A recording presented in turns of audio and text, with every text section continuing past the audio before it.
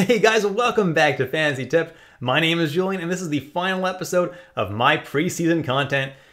The last episode of the series of episodes talking about each individual NHL team, talking about their lines, talking about their noteworthy players, and whether I think you should consider drafting them. We've been doing it in alphabetical order, and we've finally gotten to the final team, the Winnipeg Jets. Before we get into it, though, guys, please leave a like, hit that subscribe button, and hit that notification bell more than 50% of you guys that watch these videos are not subscribed, so definitely hit that button. Would mean the world to me. I'm trying to get to 5,000 subscribers this year, so definitely, definitely hit that subscribe button if you have been watching my videos and if you've been enjoying them. Let's get into it, guys, and let's jump right into the Winnipeg Jets lines.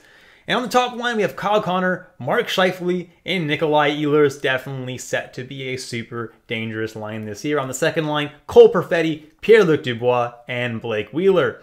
And on the third line, Jansen Harkins, Adam Lowry, and Mason Appleton. Let's jump into the noteworthy players. And first on the list is Kyle Connor, who had 93 points last year and finishes the 25th best fantasy player in terms of fantasy points per game. I have him ranked as the 21st best fantasy player this year, so I had an ADP of 28.6. Definitely really good value for him. He's definitely someone who's a very, very safe pick, and he's playing on the top line with Scheifele and Ehlers, a very, very good line.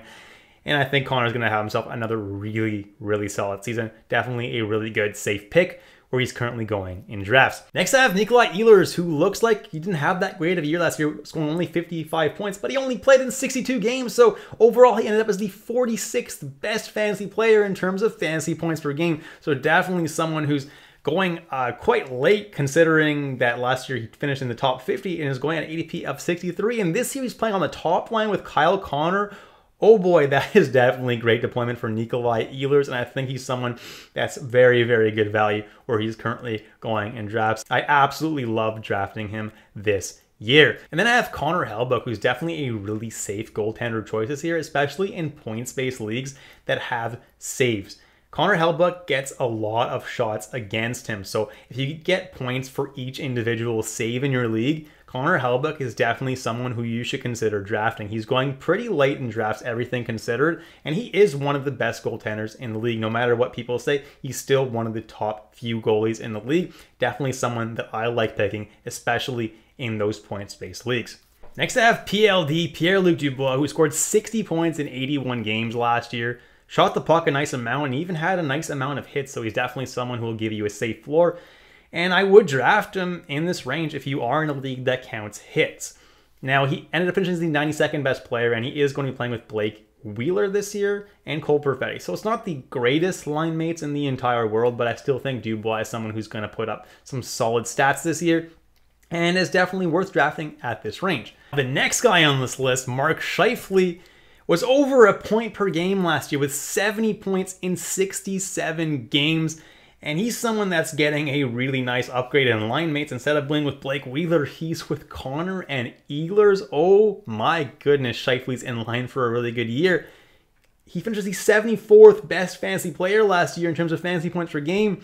And his ADP is about double that with 133.6 ADP right now. So Scheifele is one of the biggest steals in drafts in my opinion. Now obviously his shooting percentage was a little bit high, so that's going to come down a little bit, but Mark Scheifele is still going to have another really nice season.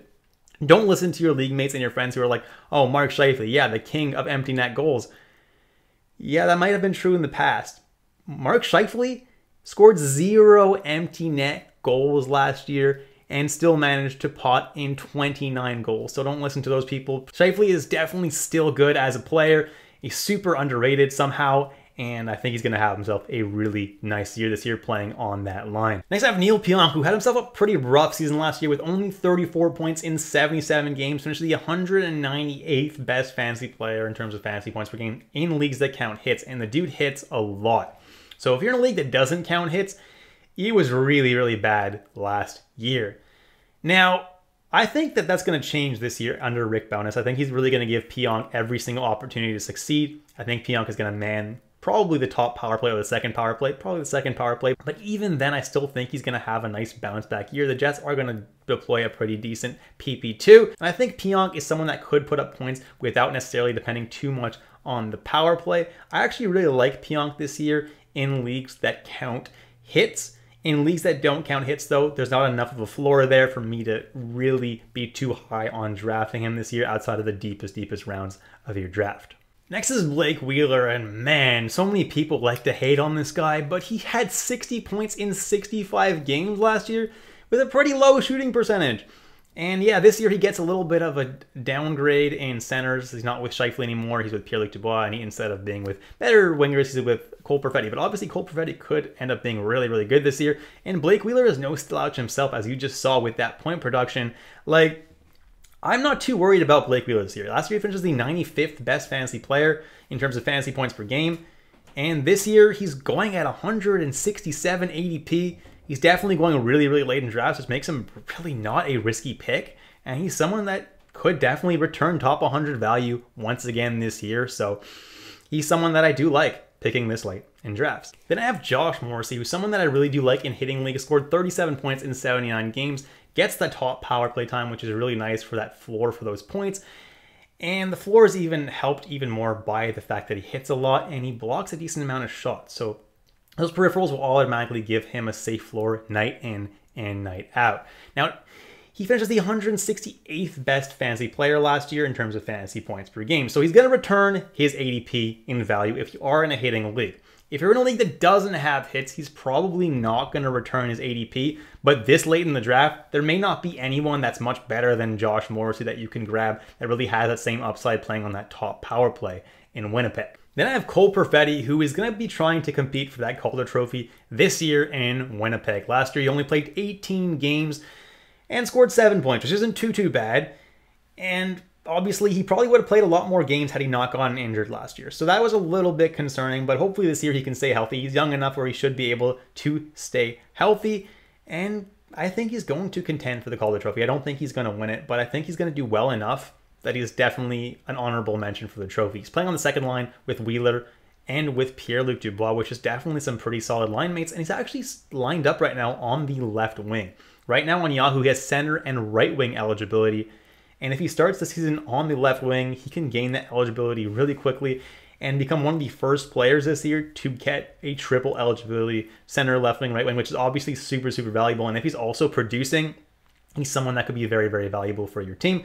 If you want to throw a dart with your last pick of the draft at Cole Perfetti, I definitely don't mind doing that. And that's it, guys. Thank you so much for watching all the way through. If you have any questions about anybody else on the Jets, like Dillon or Schmidt, they're not people that I'm considering drafting right now, but they could be streamers later on in the season. Thanks so much for sticking with me, guys, throughout this series of episodes and through my preseason content. The next time you see my face will be in my very first waiver wire video for the first week of the season. I'm very excited that the season is finally going to start, and I'll catch you guys in the regular season for the next episode of Fantasy Tipped.